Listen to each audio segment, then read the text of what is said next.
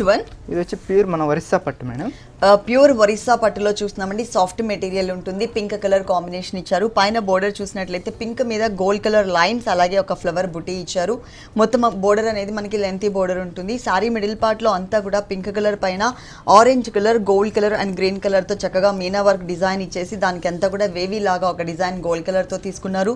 Sorry starting నుంచి ending వరకు full sari అంతా కూడా ఇదే డిజైన్ కవర్ అవుతుంది. అలాగే పైన మనం ఏదైతే బోర్డర్ చూసామో అదే బోర్డర్ యాజ్ ఇట్ ఈస్గా మనకి సెకండ్ వైపు కూడా రిపీట్ చేశారనమాట. టూ సైడ్స్ కూడా సేమ్ బోర్డరే ఉంటుంది. అలాగే సేమ్ డిజైన్ అనేది మనకి పళ్ళు పార్ట్లో కూడా కవర్ చేశారు. చక్కగా మనకి ఒక పావు మీటర్ పళ్ళు అయినా కూడా జరీ వచ్చేసరికి నిండుగా కనిపిస్తుంది.